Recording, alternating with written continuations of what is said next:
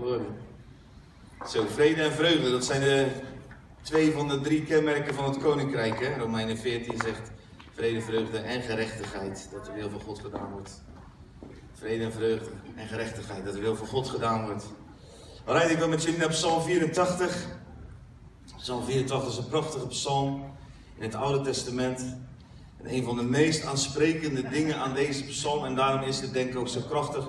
En als je, ik weet niet, als je wel in een traditionele kerk bijvoorbeeld, zoals ik ben opgegroeid, dan zie je op Psalm 84 is er zo'n soort psalm die bijna elke week op zo'n bord staat dan in de traditionele kerk. Het is gewoon een soort standaard psalm. En dat vind ik zo grappig, want dat, is, dat komt, het mooie aan deze psalmen zijn een aantal van die psalmen, dat zijn de psalmen die volledig gericht zijn op God. Die gaan niet over onze vijanden zelfs niet, die gaan niet over alles wat, wat allemaal niet klopt. Of hè, David die is nogal wel eens, die zit nog wel eens in zijn hummetje wat betreft wat er allemaal heen gebeurt.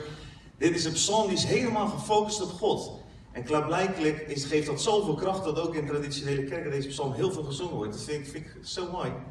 En ik denk dat dat is ook namelijk het hart van aanbidding. Aanbidding gaat niet over onze sores, het gaat over de oplossing die God biedt. Hè? Dat is een heel belangrijk iets. Want anders zijn we, kunnen we net zo goed met André Hazes mee gaan zingen van hoe moeilijk het allemaal niet is in een brief voor hier en daar. Ja? Een brief voor je moeder. Ik heb ook een brief voor ieders moeder. 66 boeken. Alright. De Bijbel. Ja. Een brief voor je moeder. Ja.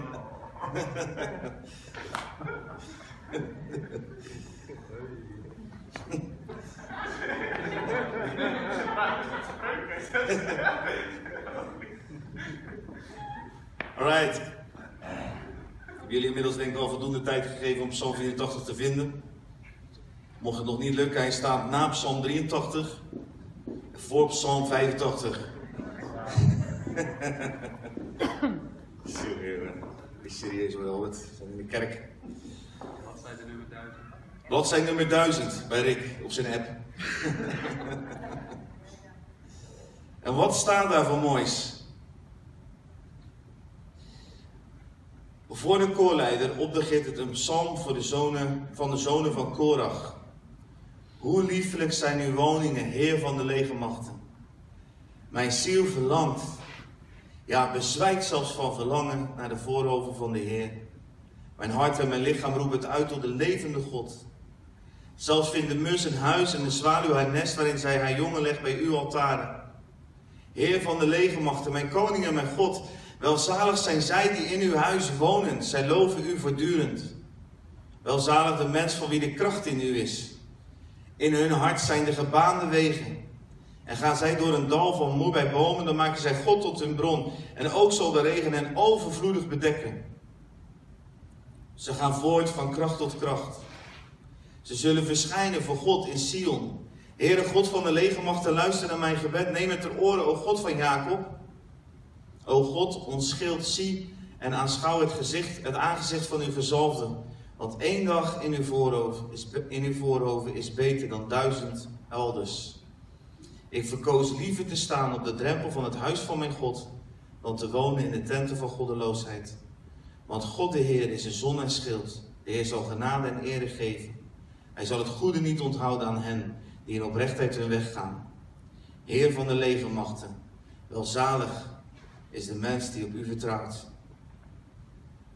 Nou, amen, zou ik wel kunnen zeggen, want wat een preek op zichzelf is zo'n psalm alleen al. Er zit dan zoveel diepte in en ik zou met jullie daar alle kanten in kunnen duiken, maar ik denk dat God vanmorgen iets wil wakker maken in jullie. En dat is dat hij een plaats zoekt om te wonen. En ik wil met jullie door deze psalm heen gaan en op ontdekkingsreis door de Bijbel, dat die plaats om te wonen, dat ben jij en dat is de gemeente. De plaats waar God kan wonen.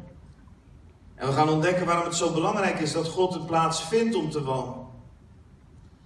En ik hoop een aantal dingen wakker te maken. Het eerste wat de psalm in mij wakker maakte, in ieder geval toen ik hem van de week aan het lezen was, was de begin, eh, het begin van deze psalm waar staat, mijn ziel verlangt, ja bezwijkt zelfs van verlangen naar de voorhoven van de Heer. En mijn hart en mijn lichaam roepen het uit tot de levende God. De intensiteit waarmee deze persoon verlangt om daar te zijn waar God is. Want daar ligt zijn verlangen. Hij wil daar op die plek zijn waar God is en waar God zich manifesteert en waar God zichzelf bekend maakt. In die tijd was dat de tempel. En dat raakte mij. En ik dacht, Albert, heb je eigenlijk altijd zo'n verlangen om daar te zijn? En nu weet ik wel, en ik kom daar straks ook op terug, in het Nieuwe Testament woont God in jou en jij bent de tempel van de Heilige Geest en de gemeente is de tempel van de Heilige Geest. Maar gewoon dat verlangen wat hier uitspreekt om bij God te zijn, dat verlangen, die hunkering, die roep.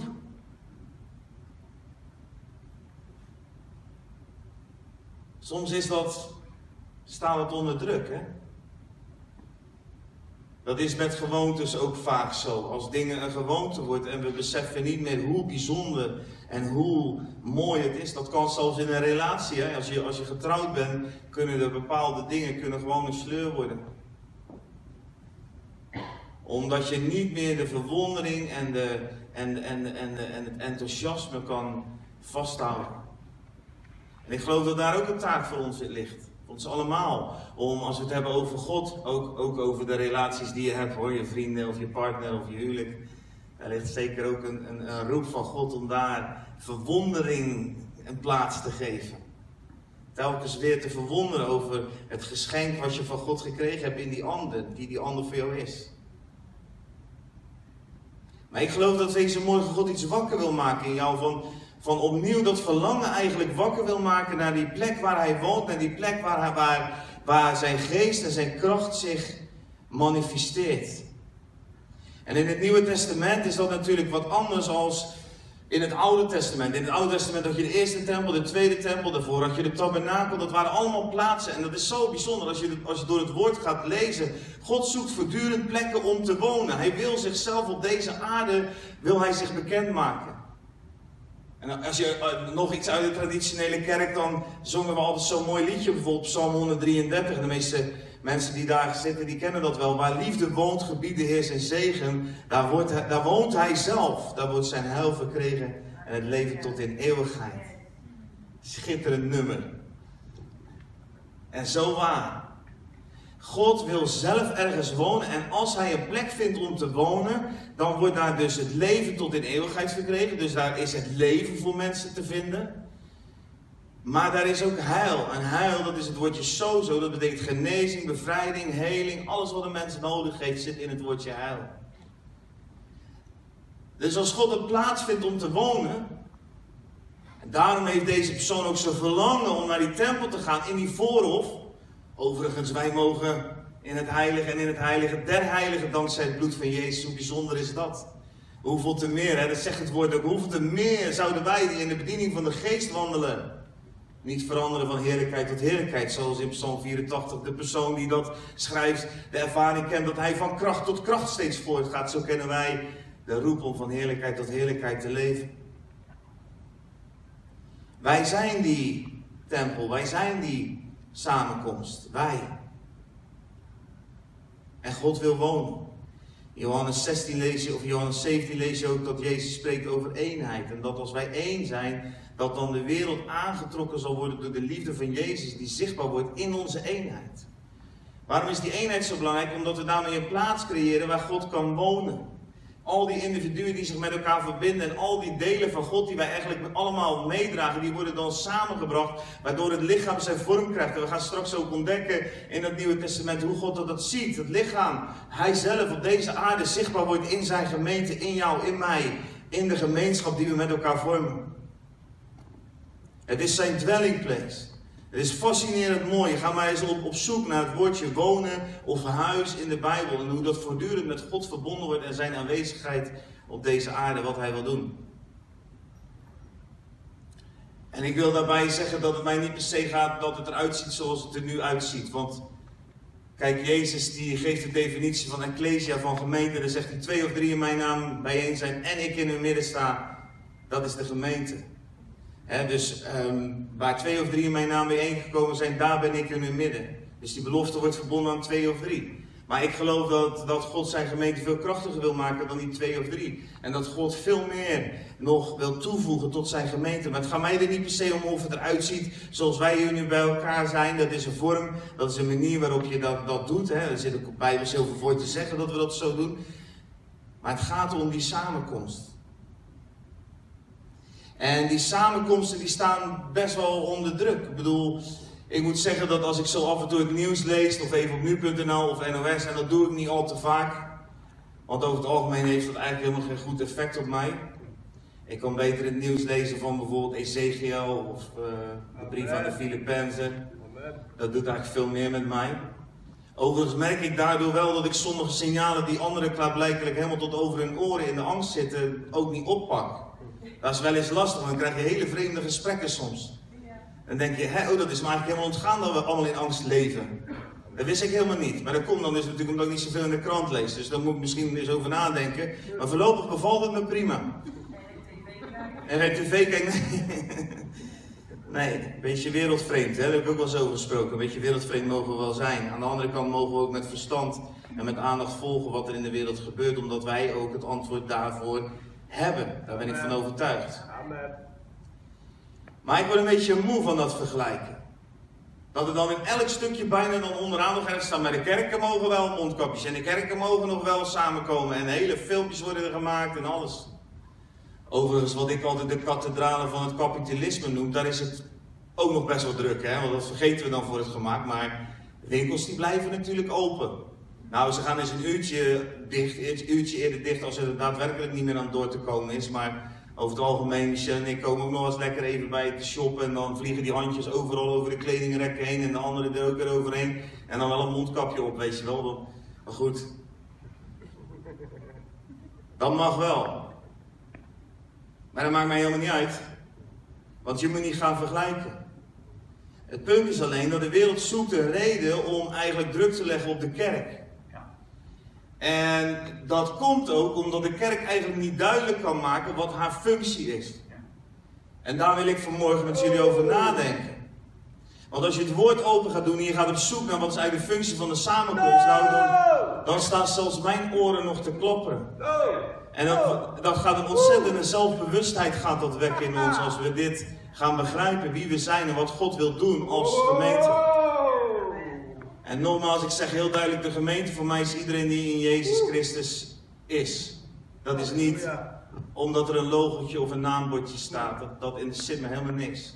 Het zijn mensen die verbonden zijn op grond van het bloed van Jezus. Als je dan kijkt wat Simon Petrus die zegt tegen Jezus: U bent de Christus, de zoon van de levende God. Matthäus 16, 16. En Jezus antwoordde, zei tegen hem: Zalig ben je, Simon Bajona, want vlees en bloed hebben dat niet geopenbaard, maar mijn vader die in de hemel is.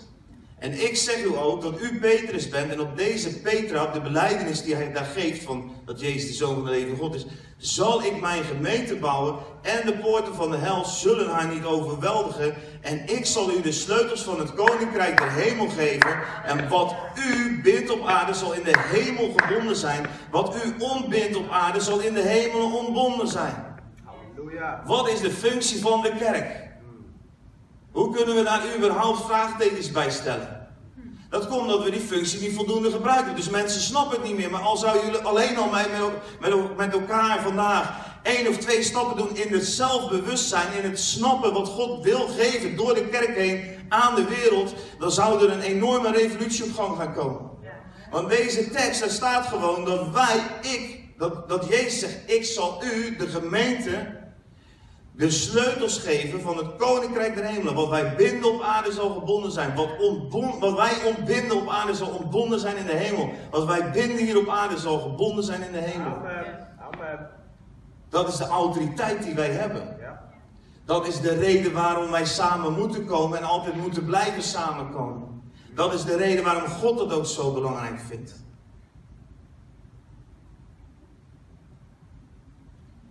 We hebben het niet, denk ik, altijd even duidelijk gemaakt en daarom komen er zoveel vragen over. En misschien is het onszelf ook niet altijd even duidelijk geworden.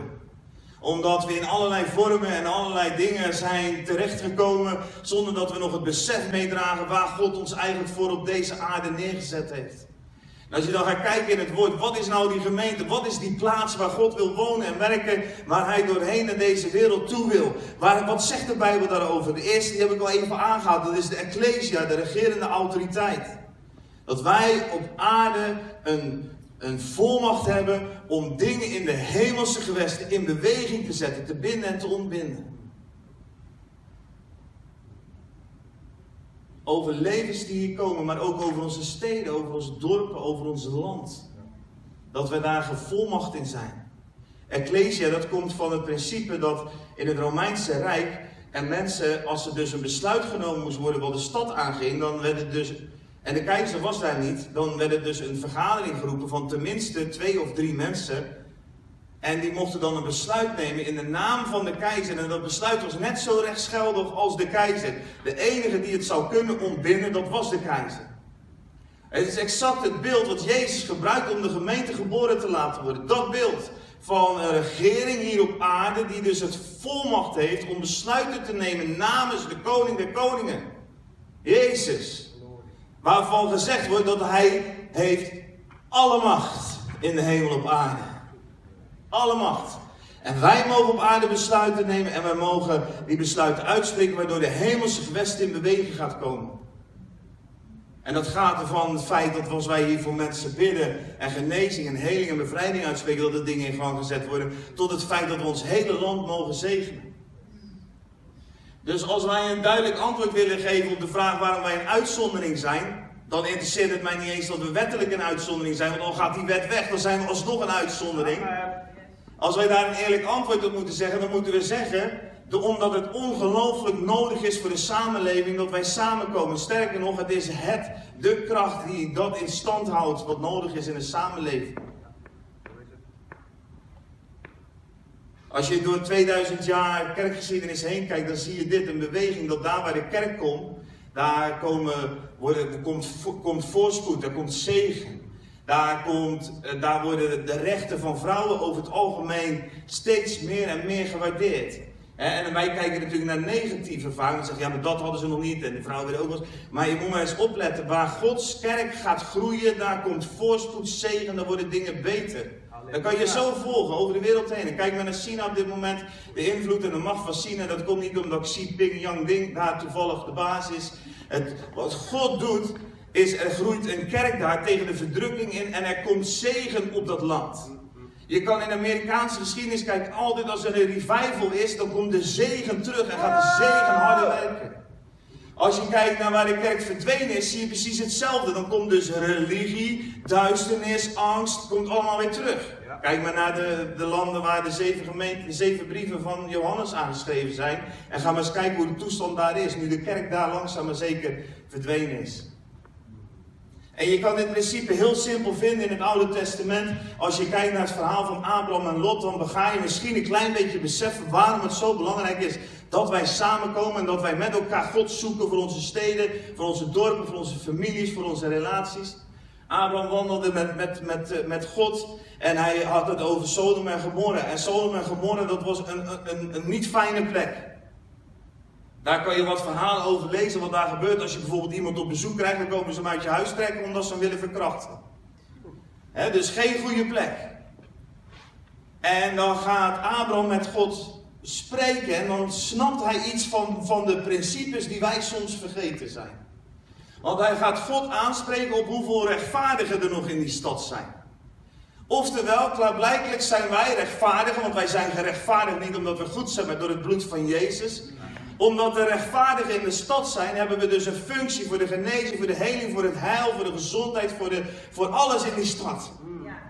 We zijn niet zomaar gezeten hier of gezet. Je bent niet zomaar bijeen. We hebben een missie, we hebben een opdracht, we hebben een goddelijke autoriteit. En Abraham gaat onderhandelen met God. En er zit dus een ondergrens aan zoiets. En Abraham die vraagt aan God, en als er 50 zijn, en zegt God, als er 50 zijn Abraham, dan zal ik die stad sparen. 50 rechtvaardigen. Voor een stad met zoveel zonde en narigheid en ellende. 50. Zal ik de stad sparen. En dan gaat hij door. En uiteindelijk komt hij bij 10. En dan zegt God, zelfs als er 10 zijn. En die 10 waren er niet. En wat gebeurde? Die stad werd verwoest. Waarom wij samenkomen? Nou, daarom. Omdat we een roeping hebben voor de wereld. Omdat God ons plaats geeft tot heil van het volk. Tot heil van de mensen. De vraag zou niet moeten zijn waarom wij samenkomen. De vraag zou moeten zijn: kom alsjeblieft zoveel mogelijk samen. Want dan weten we dat de zegen verbonden blijft aan ons land. Dat is, wat, dat is het punt. Net zo goed als dat je, als je Israël zegent, word jij gezegend. Hè? Dat staat in het woord. Dat is eigenlijk hetzelfde principe. Als je de kerk zegent, dan word je gezegend. Zelfs al maakt die kerk nog zoveel fouten, want het is een geestelijk principe. Want God kijkt niet zoals wij kijken naar dingen goed en fout. En God kijkt ook niet naar Israël zoals de wereld vaak kijkt. Met, oh, ze doen dit goed en dat fout. God zegt, dit is mijn volk, ik heb daar een plan mee. Als jij het zegent, dan word jij gezegend. God zegt hetzelfde tegen zijn gemeente. Wij zijn de derde tempel. Wij zijn zijn heiligdom hier op aarde. Waar hij woont, waar hij werkt, waardoor hij heen kan bewegen. En hij zegt, wie dat zegent, die wordt gezegend. Weet je dat Nederland blij mag zijn dat ze die uitzondering maken, omdat ze daarmee de kerk zegenen, dat God Nederland zegent tot op de dag van vandaag. Echt waar. We beseffen niet de diepte van wat God door de gemeente wil doen. En ik wek dat op in je hart vandaag. Dat je daarin gaat wandelen. Dat je trots wordt, zelfbewust. Dat jij iemand bent die brengt heil op elke plaats. Door jezelf en door de gemeente heen.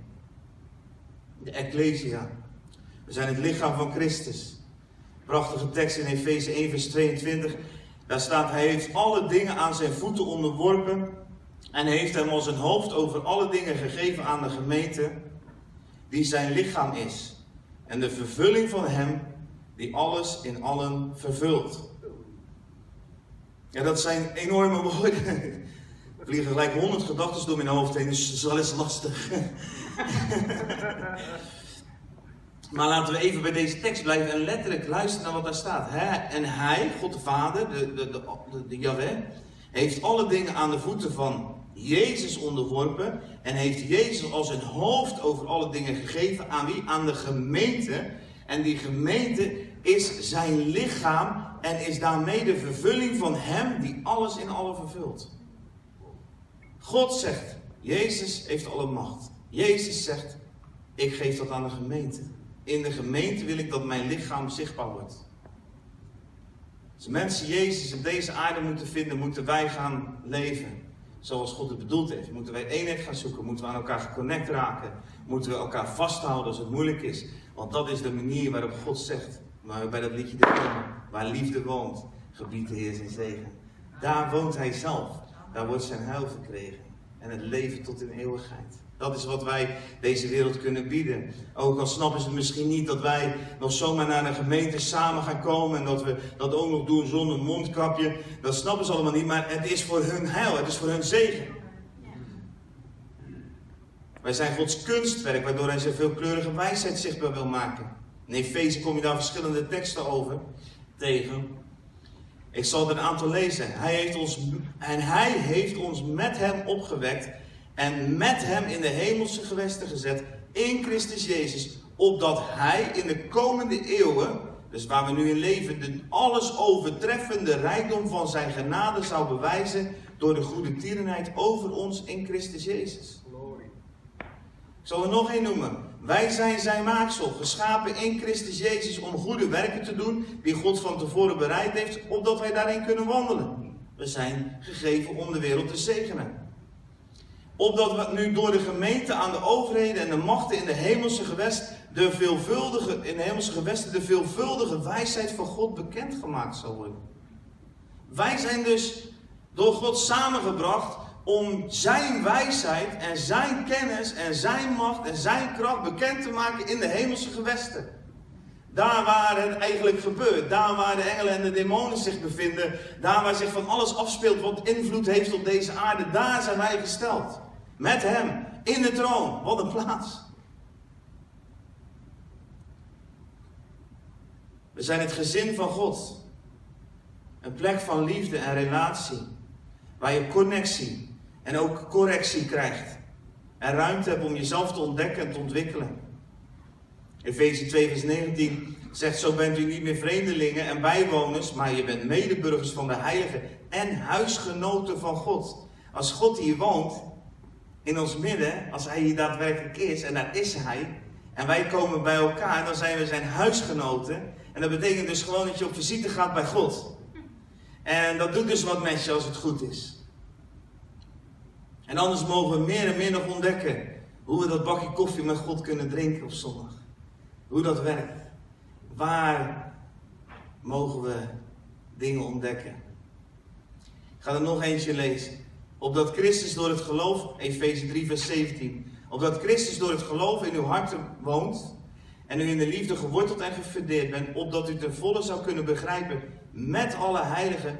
Wat de breedte, de lengte, de diepte, de hoogte is. En u de liefde van Christus zou kennen. Zou kennen die de kennis te boven gaat. Opdat u vervuld zal worden tot heel de volheid van God.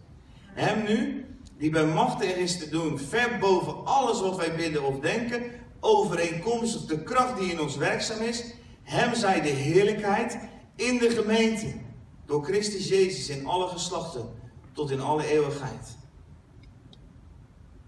Wij kunnen dus de kennis en de wijsheid en de liefde die God wil geven, kunnen wij bekendmaken. Niet in ons eentje, met alle heiligen. Want het is een lichaam met ledematen en het hoort te functioneren. We zijn ook het huis van God, de tempel, de toegewijde woning van zijn heerlijkheid en kracht, de plaats van aanbidding. Efeze 2 vers 21 of 1 Korinthe 6 vers 19. Weet u niet dat uw lichaam een tempel is van de Heilige Geest, die in u is en die u van God hebt ontvangen, dat u niet van uzelf bent? Wij zijn ook de bruid van Jezus, zijn spiegelbeeld op deze aarde. En we zijn een toegerust en getraind leger. Dat vind je terug in Efeze 6 en Efeze 4. Ja, ik moet vanwege de tijd even door. Wat zou er gebeuren als wij gaan begrijpen wie we echt zijn? Wat zou er gebeuren als de identiteit niet van alleen individuele gelovigen die allerlei prachtige identiteitscursus doen? En ik moedig je daarin aan, want elk stukje identiteit wat in jouw hart herstelt, werkt mee aan het herstel van de identiteit van de gemeente. Maar wat gaat er gebeuren als de gemeente haar identiteit weer vindt?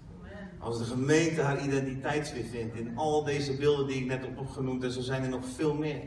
Als wij onze identiteit gaan vinden, dan gaan herontdekken met elkaar, dan krijg je een hele andere tempel. Een hele andere gemeente. Tempel, een hele andere gemeente. Dan heb je een plaats waar verzoening wordt ontvangen, waar Gods liefde wordt ervaren.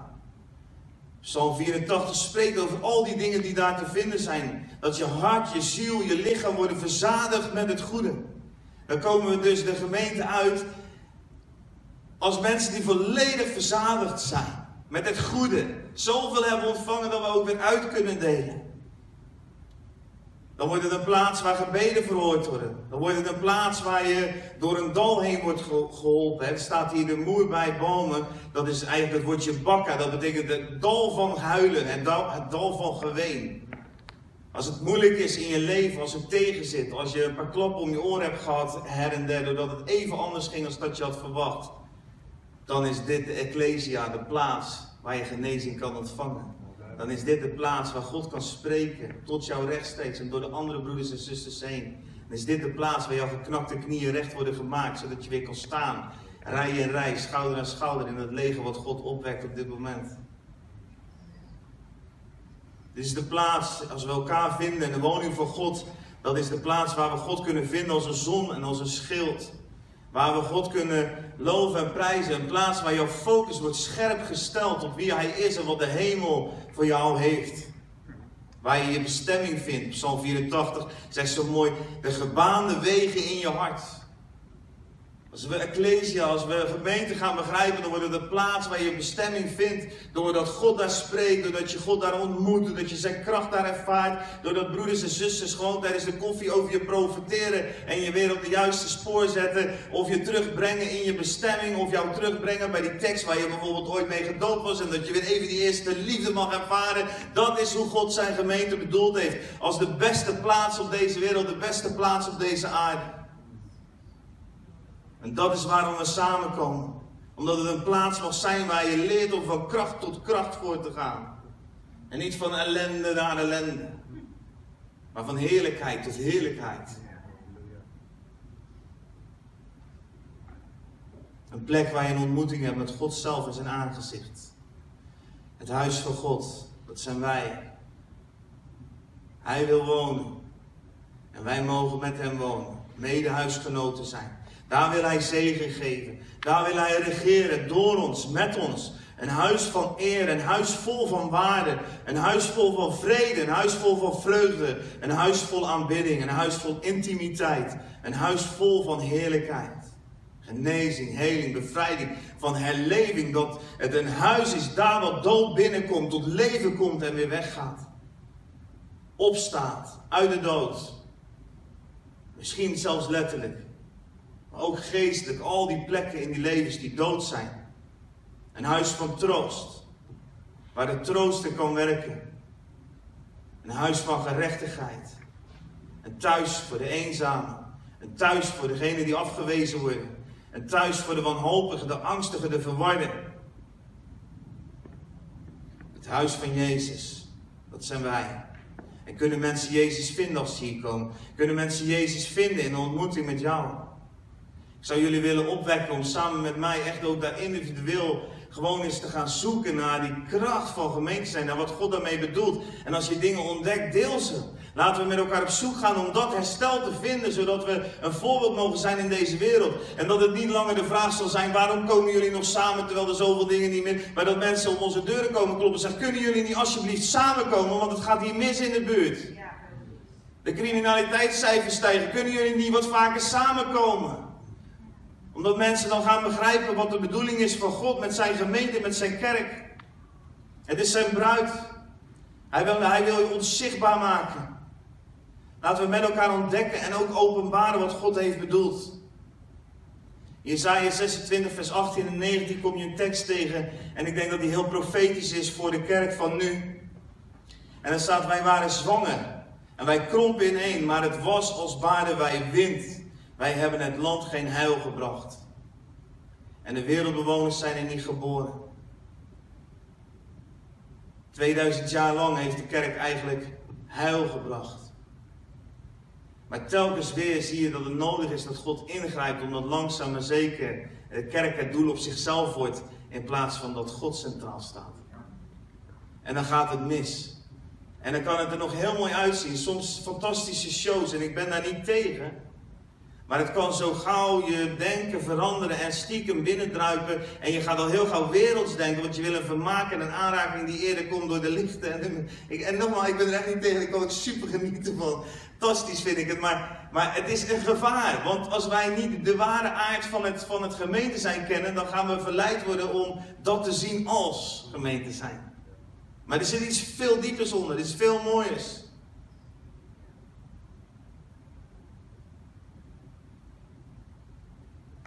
En ik lig dan wel te denken. Dan denk ik, ja, och heer, hoe gaat u dat doen, weet je wel? Hoe gaat u dat herstellen? Want wij zijn zo rationeel grootgebracht en zo individualistisch.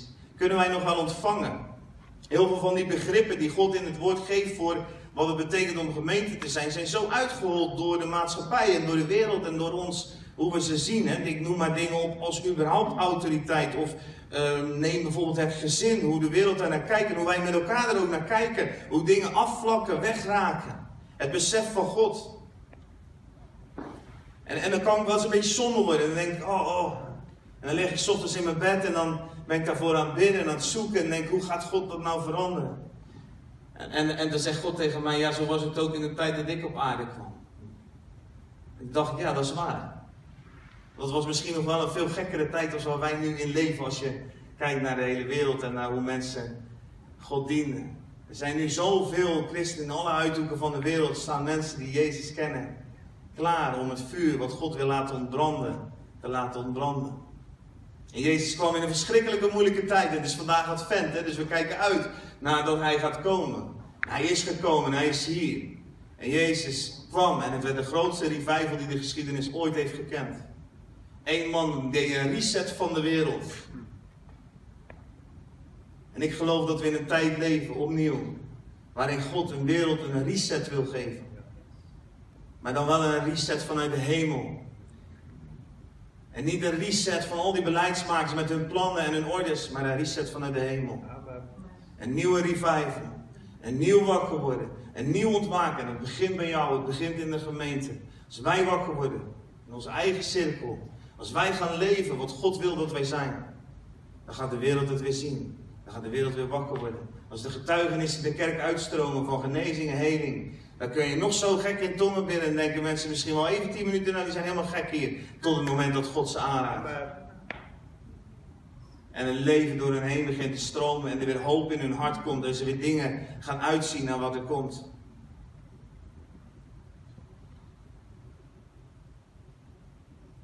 Kerk gaat uiteindelijk niet over what's in for me.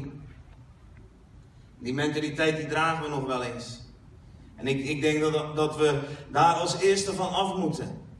Want zelfs als je, wat je ook in het woord ook leest, het gaat uiteindelijk altijd om God. Allereerst komen we samen. Niet omdat we dan nog zelf zo leuk vinden, niet omdat we gevoed worden, ook niet omdat we genezing, bevrijding en heling nodig hebben. Allereerst komen we samen omdat God het wil. En als God zegt, ik wil dat je samenkomt, dat is mijn plan voor de wereld.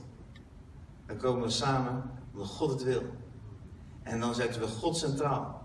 En dan gaan we het niet om ons en niet om mensen. Dus het eerste waarvoor we samenkomen is gewoon simpelweg gehoorzaamheid. Het tweede waarom we samenkomen is omdat we een zegen willen zijn voor de wereld. Omdat God de zegen die Hij aan deze wereld geeft, verbindt aan zijn gemeente. Door ons heen wil Hij die dingen bekendmaken. En ik weet niet of je God een beetje kent, maar zijn plannen verandert hij niet zomaar. Als dit zijn plan is, dan kunnen wij als kerk wel dysfunctioneren, maar dat maakt zijn plan niet anders. Net zo goed als zijn plan met mensen nooit veranderd is. Dus als tweede komen we samen voor de wereld om een zegen te zijn en heil te brengen. En als derde mogen we samenkomen om zelf gevoed te worden, om zelf geconnect te raken, om zelf te mogen ontvangen. Van kracht tot kracht, van heerlijkheid tot heerlijkheid. Er is zoveel te ontdekken over wat wij zijn als Ecclesia. Ik hoop dat ik iets wakker gemaakt heb en dat je zelf op zoek gaat ook. Dat je dingen gaat ontdekken in het woord. Wauw. Wat een missie. Wat een verantwoordelijkheid. Een heerlijke verantwoordelijkheid. Die we opnieuw op mogen pakken. En toen ik dit voor aan bereiden was de afgelopen weken, ben ik hier veel over aan het denken, aan het schrijven, aan het zoeken. Toen was het op een bepaald moment alsof God een handdoek in de ring gooide. Of een, uh, noemde ze dat dus vroeger deze een duel. En dan, ik zag zo'n beeld en God wierp een handschoen naar me toe. Dat betekende vroeger dat je elkaar er ging duelleren. En God die, die gooide die handschoen naar me toe. En, en, ik, en ik zei, heer, wat betekent dat? En want ik, het verwarde mij even. Ik denk, oké, okay, heer, wilt u dat ik de strijd met u aangaat? En toen keek ik op. En toen zag ik daar eigenlijk een soort van een demonische verschijning. Dus en en, en ik, ik ervaarde dat het de geest van de wereld was. En God zegt, durf jij te duelleren? En ik denk dat God het ook tegen jullie zegt. Durven jullie te duelleren? In de wetenschap dat hij al lang overwonnen is. In de wetenschap dat je degene achter je hebt staan. Waar het woord van zegt, mij is gegeven alle macht in de hemel en op aarde. Ik heb ja gezegd. Ik heb de handschoen opgepakt. Ik wil ervoor gaan. Telkens weer. Ik hoop dat jij ook ja zegt. Vandaag tegen hem. Om te gaan staan samen met je broers en zussen. Als een leger. Om de vijand, de werken van de vijand te ontmaskeren en te niet te doen. In Jezus' naam. Dat is de roeping die wij hebben. En daarom komen we samen.